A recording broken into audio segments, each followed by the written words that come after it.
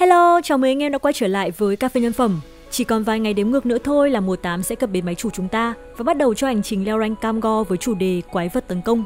Đã có rất nhiều video tổng quan tổng hệ mùa 8 được gửi đến anh em. Không biết anh em đã nắm được hết tất cả chưa?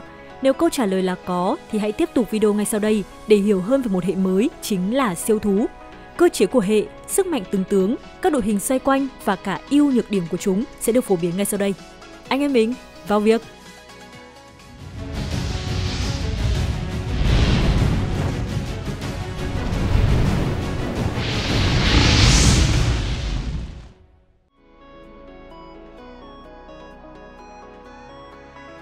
Các thành viên của biệt đội siêu thú sẽ tạo dáng sau khi hạ gục mục tiêu, tăng danh vọng cho bản thân.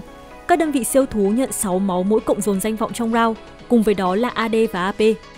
Đương nhiên là mốc càng cao thì lượng chỉ số cộng thêm sẽ càng nhiều, nhưng khi cập bến máy chủ chính thức, các con số này có thể thay đổi nên tụi mình sẽ không đề cập nhé. Mong anh em thông cảm bỏ qua và cùng đi tới phần tiếp theo, tìm hiểu sức mạnh các tướng siêu thú. Nasus được gọi với cái tên quen thuộc là thầy giáo ba, mức giá một vàng, siêu thú, linh vật. Nasus lấy gậy gõ đầu kẻ địch, gây sát thương vật lý và khiến kẻ địch tê buốt trong một khoảng thời gian tương đối. Tê buốt ở đây chính là giảm tốc đánh nha anh em.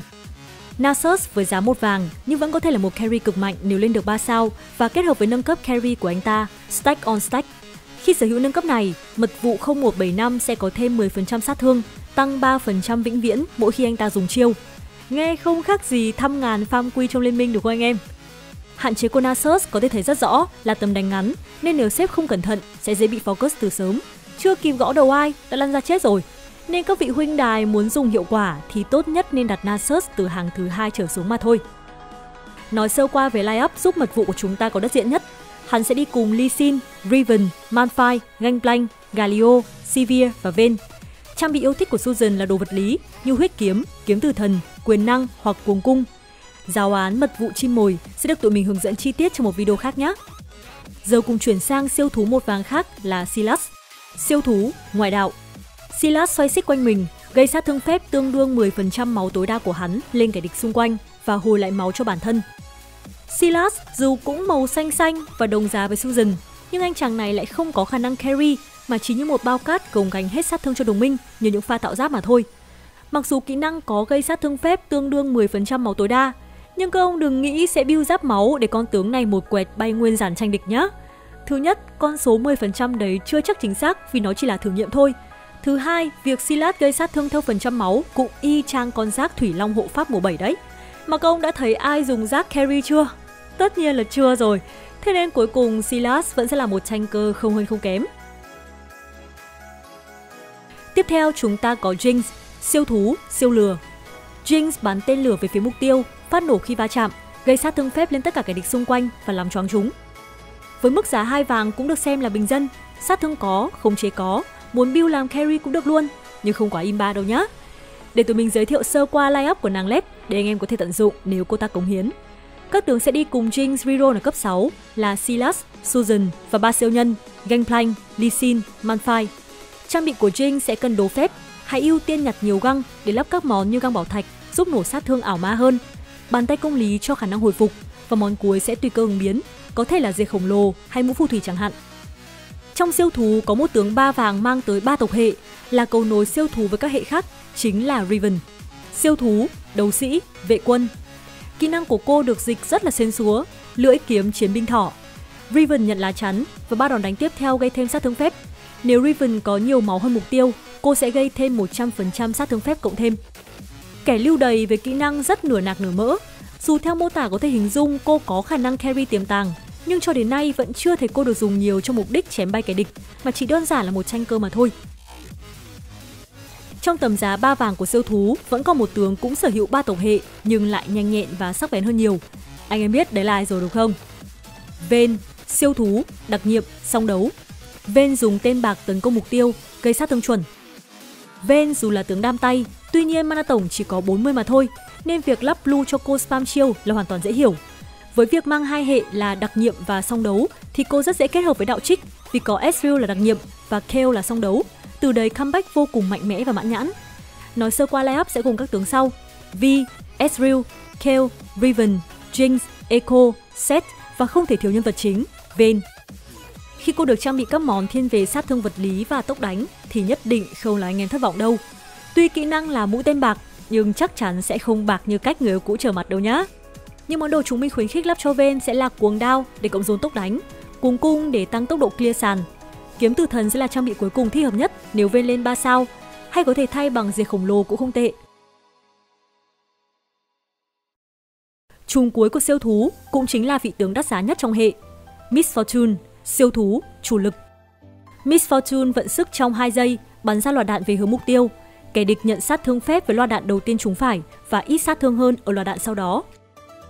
Gọi là bão đạn, nhưng thực tế cơn bão này rất hay đi chệch hướng, nên nếu kỹ năng được tăng độ rộng với nâng cấp Bunny Mercenary sẽ tuyệt vời hơn rất nhiều. Nâng cấp còn lại là Make It Rain, đơn giản là bổ sung kinh tế cho anh em thôi. Mang hệ chủ lực thì chắc chắn Miss Fortune sẽ có thể gánh trọng trách carry rồi. Để build cô được an toàn và dễ dàng phát huy sức mạnh thì chỉ việc kết hợp 5 siêu thú đi cùng đấu sĩ và hộ công. Line-up gồm Nasus, Riven, Jinx, Vayne, Miss Fortune, Vi, Echo và Leona. Sát thương Miss Fortune chủ yếu đến từ kỹ năng gây sát thương phép, nên các trang bị thích hợp nhất với cô sẽ là mũ phù thủy, găng bảo thạch, thêm một Soji để tung chiêu sớm hơn vì mana của cô cũng không ít, cụ thể là 105.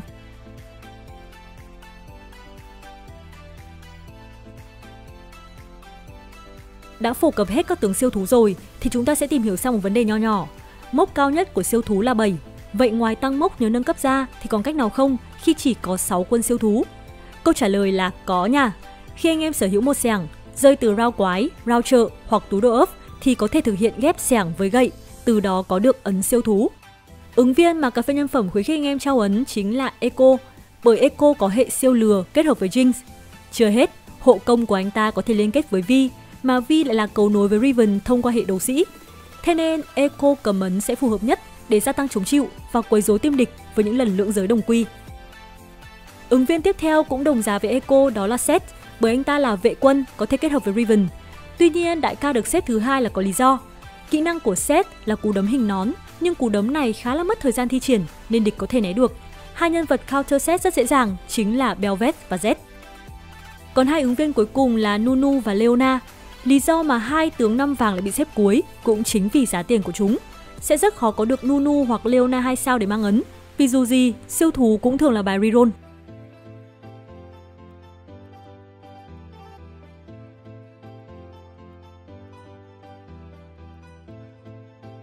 Về ưu điểm, các quân như Nasus, Silas, Jinx chỉ có giá một vàng hai vàng nên rất dễ sở hữu. Hiện nay đây là một bài đấu chưa bị giàu ngó nhiều nên cũng dễ mà vàng hơn. Còn khi về Việt Nam thì cà phê nhân phẩm không đảm bảo sẽ như vậy đâu nhá. Có hai quân ba vàng ba hệ là Riven và Vayne nên dễ mix được với rất nhiều tổ hệ khác nhau, tạo cho người chơi cảm hứng hơn với lối chơi flexible. Chỉ riêng hệ siêu thú thôi, chưa cần kết hợp với các tổ hệ khác thì cũng đã có ba con tranh là Nasus, Silas và Riven Hai thành viên còn lại là các carry tay dài, nên không quá khi nói siêu thú là hệ công thủ toàn diện. Sức mạnh luôn được thăng tiến khi mà chỉ số frame luôn được cộng dồn khi các siêu thú hạ gục kẻ địch. Thế nên nếu thấy có nhà tranh bài thì có thể nhường cho họ và dùng siêu thú đép máu đánh áp cấp nhé. Còn nhược điểm, hầu hết các siêu thú đều nằm ở mức giá trung bình nên sẽ thích hợp với các bài reroll, đồng thời cần tích lượng danh vọng, fame để có thể mạnh mẽ, cho nên sẽ khá yếu ở đầu trận. Ngoại trừ Miss Fortune thì các tướng khác đều phải lên 3 sao mới phát huy được sức mạnh đội hình và không bị thiếu đam về lết.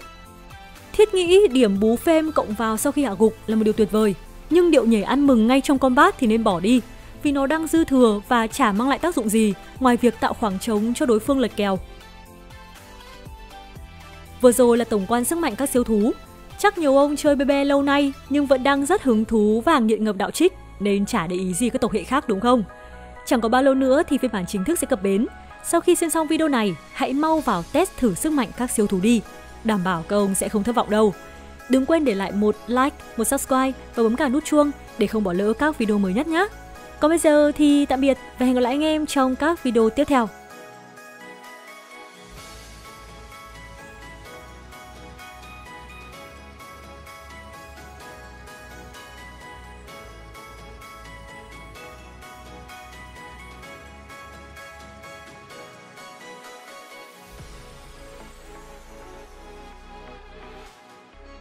Shop cà phê nhân phẩm.com siêu tháng 11 siêu to cuối năm siêu hạ giá Conic Liên Minh và đấu trường chân lý sở hữu tài khoản ngay bây giờ chỉ bằng nửa giá cũ. Siêu thật, giảm thật chỉ có tại shopcafeNnhân phẩm.com. Đường link sẽ để dưới phần mô tả các bạn nhé.